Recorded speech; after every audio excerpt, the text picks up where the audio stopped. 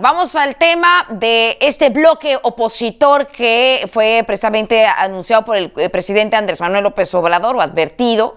Durante la conferencia de prensa en Palacio Nacional, el presidente López Obrador dio a conocer un documento que dijo le hicieron llegar a la presidencia y que revelaría la presunta creación de un bloque opositor amplio, BOA, como lo llamó, para generarle a Morena en las elecciones del próximo año y también derrotarlo en el 2022, cuando se ponga a consideración de los electores la revocación de su mandato. Eh, también, bueno, pues afirmó que el mismo eh, pueblo será quien entregue las cosas de la estrategia, los casos de la estrategia que tienen para debilitar eh, públicamente a pues la presidencia de la República, en este caso a Andrés Manuel López Obrador y su proyecto de la cuarta transformación. El vocero de la presidencia fue el encargado de exponer en qué consistía este bloque opositor y cuál sería la estrategia. Afirmó que el objetivo de ese documento es promover el desplazamiento de Morena de la mayoría de la Cámara de Diputados en el 2021, revocar el mandato presidencial en el 2022.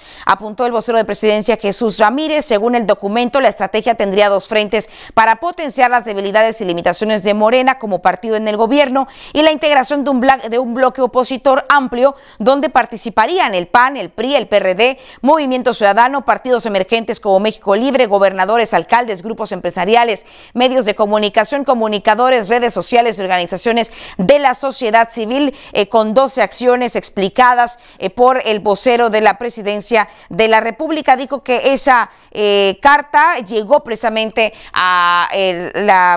Palacio de Gobierno, al Palacio Nacional, con pues en una etiqueta de confidencial, hablando sobre esta estrategia pues de todos contra la 4T. Y bueno, esta mañana eh, el Universal, el diario Universal está publicando en la columna de Bajo Reserva eh, que, esta, que este fue el surgimiento, dice, de eh, la verdadera historia del complot de la BOA. Así titula esta mañana el Universal la columna. Dice que en esta columna afirma el Universal que el lunes un personero de Morena se acercó al diario El Universal, pidió cita, fue atendido y dijo que traía un documento que exhibía un complot en contra del presidente Andrés Manuel López Obrador. Su intención era que el Universal lo publicara en su edición del martes como una gran nota generada por este diario y que además ofrecía, dice, bajo reserva generosamente, serviría para que esta casa editorial que era mencionada en el supuesto plan pudiera marcar distancia del presunto proyecto desestabilizador. Se le pidieron fuentes y se le dijo que si era una denuncia se le tendría que poner nombre, apellido y rostro.